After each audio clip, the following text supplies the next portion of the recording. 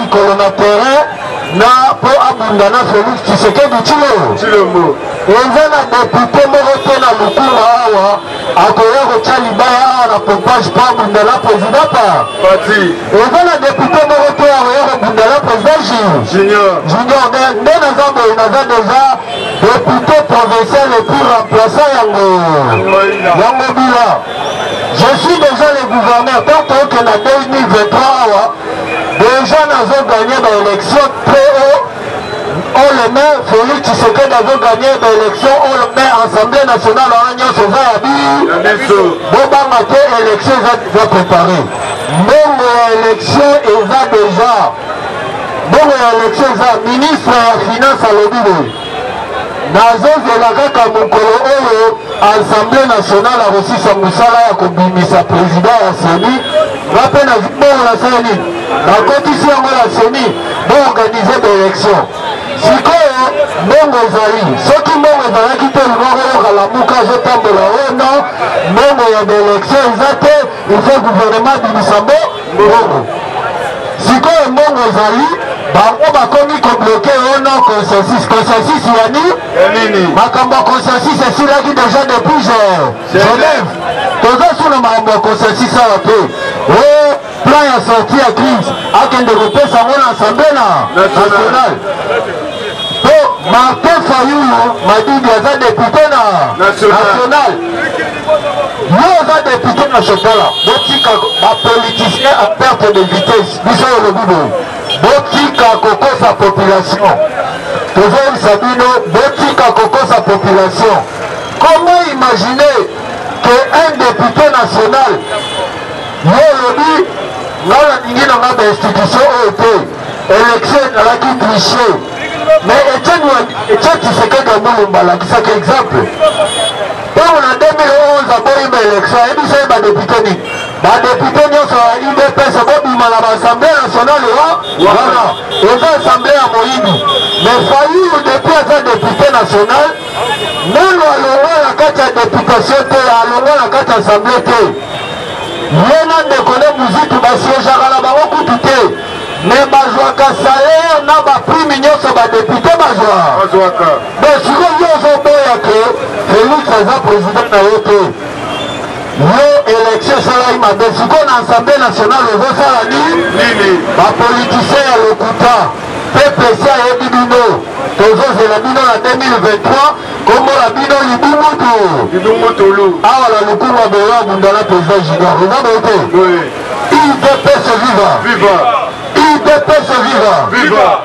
boimagine ke bato ya lamuka wana baza lokuta maka bakosa pepe kongole bagangaki awa ono tokozwa bajipi te tokozwa bajipi te banda koloba na monoko baye bayelaka mpo ba jeep nano ekomaki na congo te me na minute oyo na bafayulu na bango nyonso baozowelela bazwa jeep me yo olobi ke bainstitution eza mabe président de la république aza illégal aza illégitime me na assemblée nationale ozozwa baemolima nyonso ozozwa basalaire na yo kito Mpo na ko relever defi ya peuple congolais, tozalaki pays te, tozalaki kaka un groupe de gens très gentils bavivaka na kati ya mboka moko boye sans institution sans pays. Nde la president Fatshi alobaka Monsieur Kabila Kanambe Kazembere mwana mama Martine abandaka dirige mboka oyo te, atikalaki mboka oyo na maboko ya bashadari baobe minaku baale akindu bamiyibi wango nyororo donc rdc mpo na bango ezalaki cope soki kabila tio ministre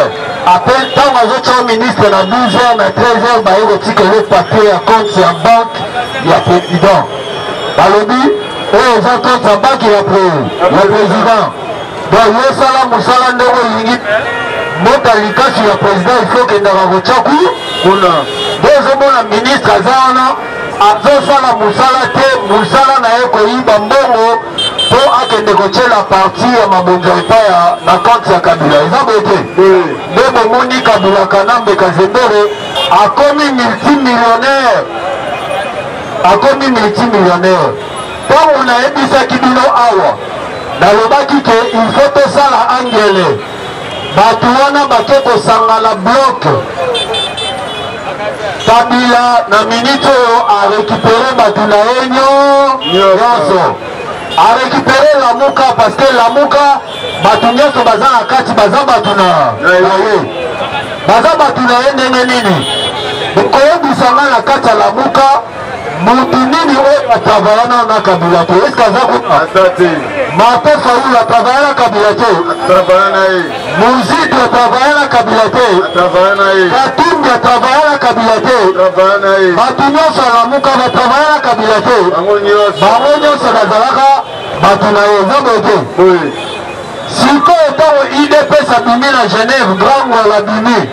nde milisa moko alobaka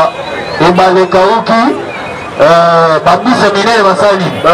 bisa monene ezalaka kaka idps ntango idps alongwe na genève idps nde azalaka kosala lokola mwa contre poids na baopposant oyo kabila alandaka bango mbango bango moko banda kolia na ye kindoki ntango bayokani te alandi bango mbango bamisusu bakimi bamisusu bakomi bamitelengano libanda mboka balusu baketema na prison alors sika awa nde toloba awa ntango idps abimi azwi pouvoir na ye ye moko akomi otravaye bato wana batali balobi bazangi eloko ya kosala bakomi na perte de vitesse bake kozongela na bango kabila na bango eza bo te nde bomonaki lobi soki ferdinand kambere soki nani aleki na tv alobi biso mpe bato ya pprd toza na kati ya marche wana ya la tozokende kosoutenir la udps viva bokomprendre ke kabila si basali bloc na lamuka na pprd na bango nyonso basali bloc contre chilo chiloko nde bozomona sikoyo bato ya mbongo wana bazobimisa mbongo ebele ebele kala te awa motu moïse katumbi azangi eloko ya kosala mbongo na mbongo abimisi yango akabeli badepute mpo badepute bacreye motion contre leviembo oso sikoyo mbongo ebimi bayaya batye mbongo na poshe bakomi koluka sikoyo sujet nini bakokangela viembo oso batali ba sujet nyonso tu bamoni eloko moko te po vieux moso azali na ye conforme epuis aza le légitime vieux moso mpe alobi ba comme olobi bolongola ngai nake na kan luka place oyo bolobaka ke bino nde bokanga kuna ake korange kuna vieux moso grand rangere Na kati ya camp Luka pena ganga Fatshi Bear. Beto. Fatshi Bear. Beto. Oh, natali nabi oh. Seke vie boso oyo akomi moto ya ide. Udps. Yango tolobaki awa ke bakomesana. Politique eza ya udps. Fumbwa batikela bakongo. Kwanga batikela bato bato te politike batikela ide diplomasi batikela chilo donc baza na eloko te na terrain oyo bango bakoki kointimide biso marche na bango wana nde eza boye ekosimba te parce que idps eza deja wana Alors tokosala lisusu ba marche mosusu mpo na koyebisa mpe mboso tokoki kotelema wana te mpo na kozelaka consensus ya ba confession religieuse tandiske bango esi badesignaki deja motuka alors tosengi na vie mboso boye vie mboso tokomi impatient toza na mposa oyo interine président oyo aza désigne na confession oyo eza boye te toza na posa adesigne monsieur kadima badesigne ye bainterine ye mpo na biro ya assemble biro ya seni ezala compose na 15 membre mpo nicolas kazadi aza deja na mbongo ya élection na maboko esalema te Depuis gouvernement ya Tshilombo ebanda ba crea caisse nationale de perequation. Caisse wana ezalaka caisse oyo bakotizaka mbongo mpona ba urgence, ba, ba situation calamiteuse,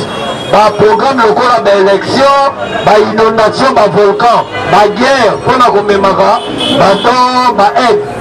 nde role ya kesi ya perequation wana me na kati ya kesi wana depuis banda etikala kokomisa 100 000 dollar eh?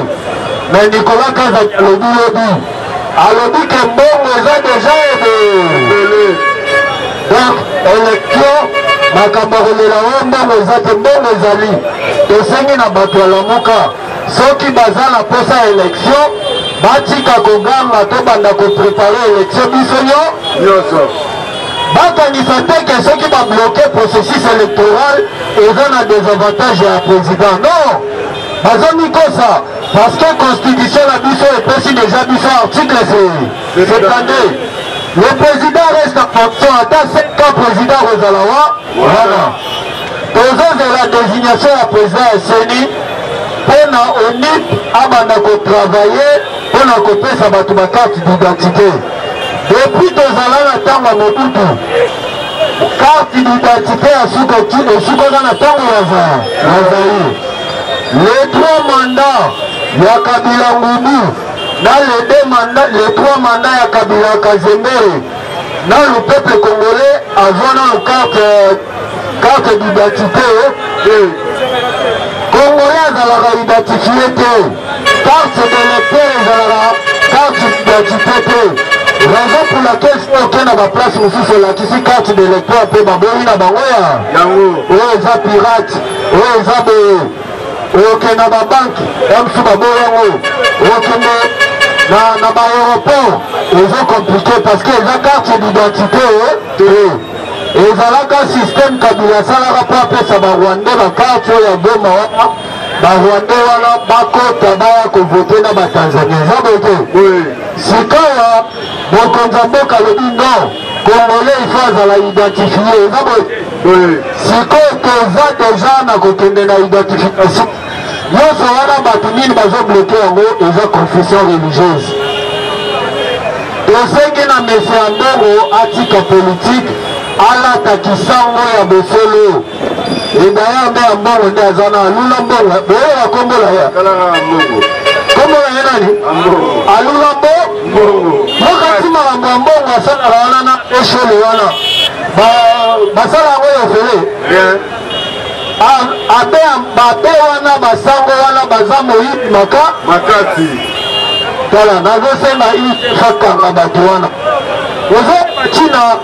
igf azoboya kojuge mpe nani oyo tipo aza na prison oyo azalaka ministre ya enseignement nani wili bakonga boyebi ya mosusu mpo na nini euh, justice ezoboya kojuge bazoboya nde koyokisa eglise katolike so soni mpo lelo soki bakonga atelemi liboso ya mikro ya juge abandi kotanga tokokende na baekole fictif donc tokokende na ekole fictif banani baza ekole fictif ebele eza na sango yango bomonaki ya mbongo atimbelaki alobi a ah, etat de droit nse ye seke bakokanganga aye na kevena cilombo bolimbisa biso toyebaki deja baekole fictif wana me yo oyebaki baekole fictif wana ozalaki kozela ngombo mbongo wana esili noke ambongo alela mbongo aza moyibi mine monene udps viva baza bapolitisien basango wana bazoyiba mbongo ya baekole malgré baekole fictif asengeli yango pardon Mais ti lelo balongola yango te na système éducatif. Yango bozomona ye na biso toni mwaba azotelemela yango maka alobi fo tosala na reforme à travers ong allemand oyo tozwaki eza mpo na identifie baekole secretive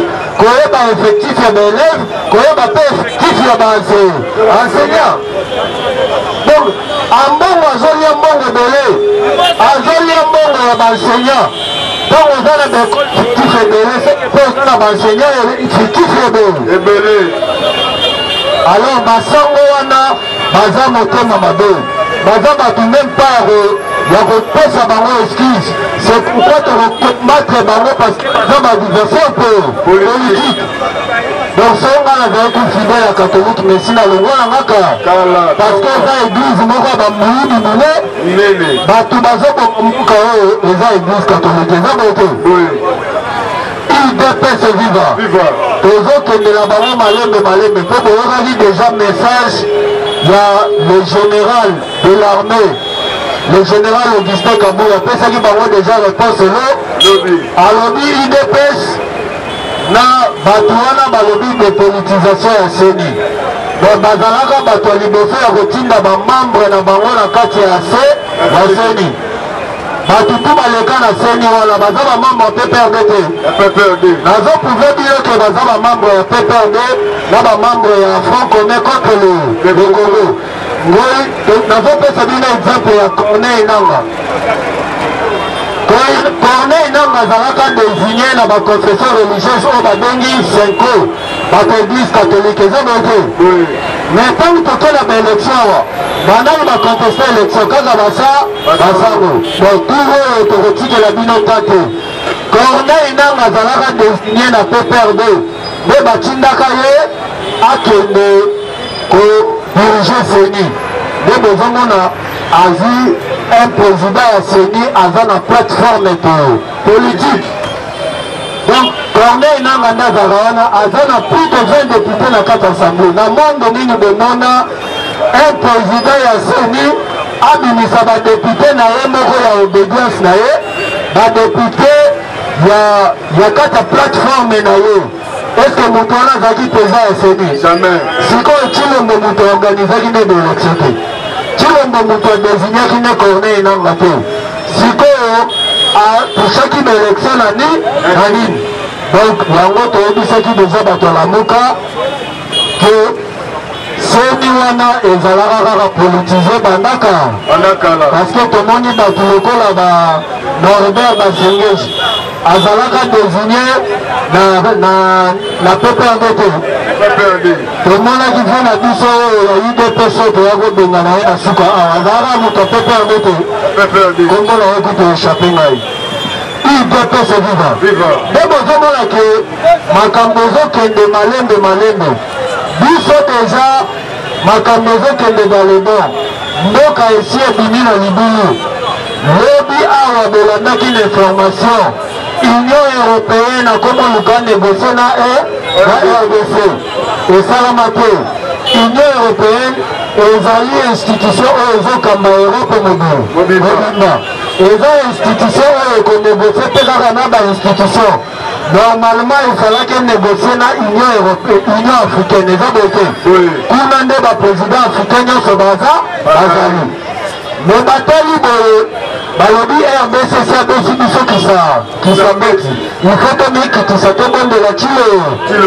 union européenne azoorganize sommet moko ezala union européenne rdc Bozo comprendre yango Union européenne na RD na RDC donc Europe mobimba elingi enégocier na pays no moko wana eza misala cilombo tobeteli maboko maboko makasi maboko makasi udps viva viva kongo esi ekomi miroir oyo ezali kobrille na monde mobimba Tshilombo soki avoyage ata na Brazzaville ayo okomona Europe ekotinda ba émissaire boke ekutana na ye bosolola na ye bomona Amérique ekotinda ba émissaire bomona Asie ekotinda ba émissaire nyonso wana bazolanda ye partout bakomi bagarde kona na ye donc rdc esi ezongeli Statut na ngo ya grande puissance esi ezongeli statut na ngo ya grande puissance sikoyo eloko etikali eza nini eza oyo tobengaka motema mabe ya bapoliticien en perte de vitesse balingi kotika motema mabe te pourquoi bayebi ke faiblesse ya congolais eza na tribali tribalisme nde tozomona bato bazala su na discours te oyo biso toke na na ntango tokende kosala ma marche ntango okoma na marche alo oyo baye na moluba te oyo moswahili te biso bapangi nde tokobundela mbo moko udps viva me nazoyesa bino ye bampangi bakobundela mboko oyo te parce que bampangi bango moko mpe baza batraitre entre bango na bango tozalaki na monsieur kizenga awa nani atrahi yo kizenga eza muzitu te muzitu Kizonga a divorce na mwasi na ye avant kufa mpo na muzi muzito muzito ake koyokana na mwasi ya kizenga batyelaka kizenga bakisa pongi mpo alalaka na biro na biro batyelaka kaka bakisa pongi vie so akomi na biro pongi makasi alamukaka boya suki kaka bie bayo boluku mebwa betu mekwe betu kwenda eza boye te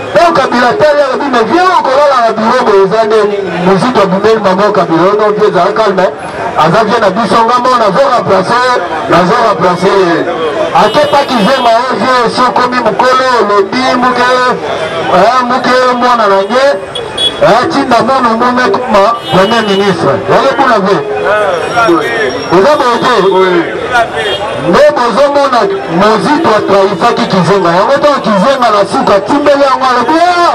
tipo ya moi moyibi ye moto atrahi nga yango omonaka kizenga benganaka mozito na kati ya pali oza bote kizenga nani mozito ayaka su na pali mpe nde akendaka osala parti na ye babenga yango nouvelle donc bango na bango baza bate batetre martin fayulu aza tete monene oke awa na 2006 ada kombola bima gouverneur biso nyonso toyebi histoire wana ada kombola efalaka bima gouverneur bayokani na martin fayulu tututu ntango toke na baélection na assemblée provinciale etikala ye kaka vra moko soit mozito gagné et soit Ada Bendela a gagné, Fati Kimbuta a gagné.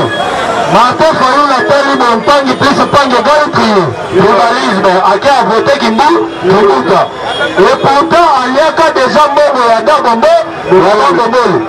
Donc, bon comprendre que Batola Baza va très terminé. Ata bazosala kipangi basali tribalisme bobanga te kala te bakopanza na bango na ba na bango po cilombo akozonga nsima te biso peple tokotikela bango terrain te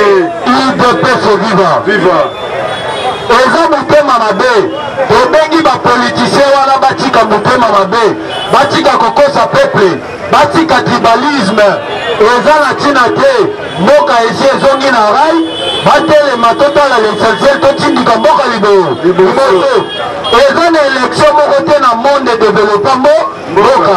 eza kaka changement ya baanimateur mais baanimateur na biso toza na bango ya congo bazosala baelection mpo na pouvoir bazolinga tokende na election mpo na pouvoir mpo na kotuna moïse katumbi aza deja multimilliardaire sikoyo na présidence akokende koluka nini azoluka pouvoir mpo na bapouvoir de redevabilité baza nango envers bacommunauté internationale oyo basutenaka bango yango wana ezokanga bango na kingo botika motema mabe tosimba mboka biso nyonso ya congolais Unite ezala totindika mboka liboso epuis peuple aza peuple ya 2006 te peuple nyonso esi aza eduke na udps esi a comprendre soki tomoni bino mabe bokomona biso liboso bandako na bi eza boye te merci beaucoup namoni heure eleki totikela mpenza pati makambo ebele ya koloba ezali nayebi deja tomilengele biso nyonso toza na nzela merci beaucoup président oza parole